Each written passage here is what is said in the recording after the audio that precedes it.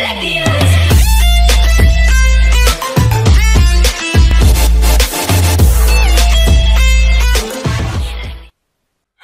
hello, hello, bosku. Alright, bosku, welcome back with me, Nauki. Hari ini kita akan membahas sesuatu yang sedang viral di kancah perjutupan Indonesia. Nah, beberapa hari yang lalu the king of YouTube kita Mr. Atta Halilintar Mas Atta Halilintar ya dia membuat sebuah tantangan di mana kalau ada yang bisa membuktikan bahwasannya dirinya um, membeli subscriber dia akan memberikan orang tersebut uang satu miliar. Anggap aja itu adalah sebuah tantangan, ya.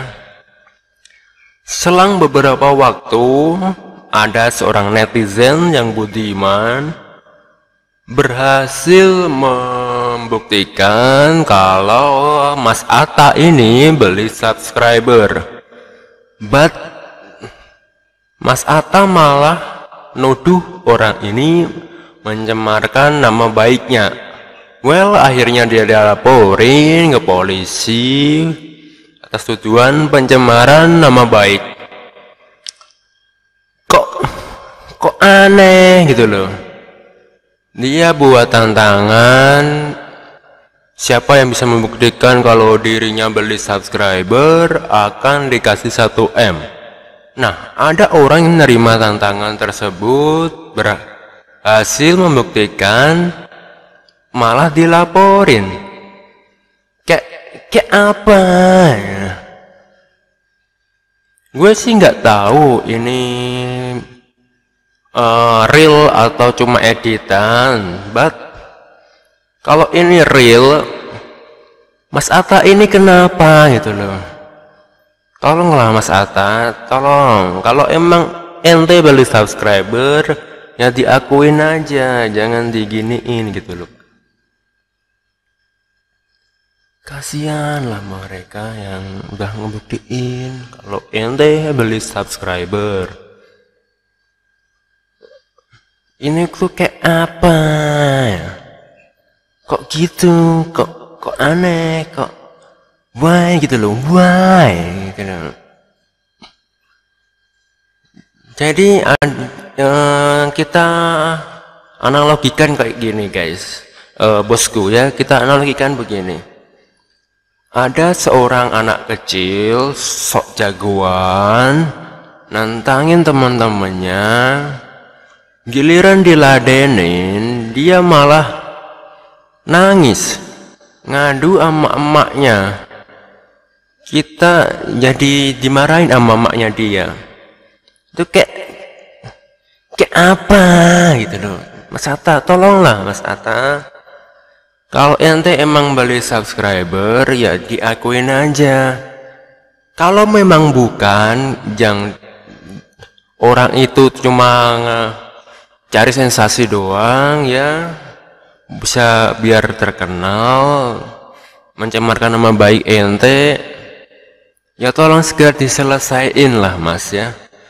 Bawa ke kantor polisi eh, Segera secepatnya secepat mungkin.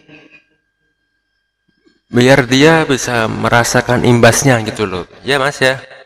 Kalau emang ente nggak beli subscriber ya tolong diklarifikasi eh, kebenarannya gitu loh. Ya mas ya Jangan kayak gini gitu kayak kayak, kayak apa gitu loh. Kayak anak kecil ngadu mamaknya itu loh. Ah tolong ya mas Hatta ya.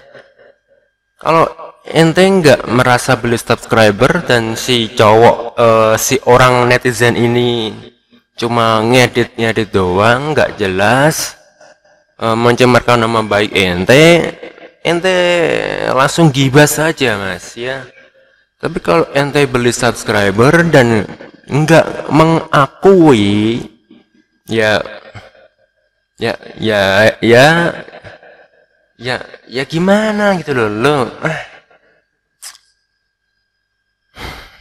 tantangan diterima en, uh, gini gini gini. Ente buat tantangan tantangan diterima ente laporin. Lo lo kok kayak gitu gitu mas ya? Tolonglah mas ya. Tolong. Segera diselesaikan ya mas ya. Mas Atta ya sama netizen ini. Gue nggak inget netizennya ini namanya siapa but kalian pasti udah pada tahu lah netizennya yang mana ya. Bosku Tolong segera diselesaikan Mas Atta biar semua masalah-masalahan ini cepat kelar. Gue sih udah li ada lihat ada video lo collab sama seseorang youtuber juga yang dia ngevap itu ya. Tapi gue baru lihat beberapa doang, belum semuanya. Ya, semoga itu bisa mengklarifikasi kebenaran dari kasus ente beli subscriber ini ya Mas Atta ya. Tolong segera diselesaikan biar semua permasalahan ini cepat selesai.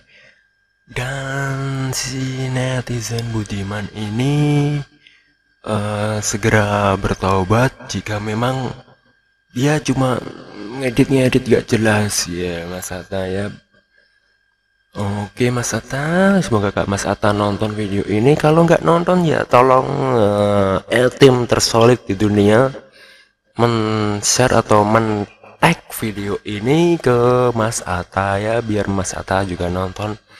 Oke ya, terima kasih semuanya telah menyaksikan video ini.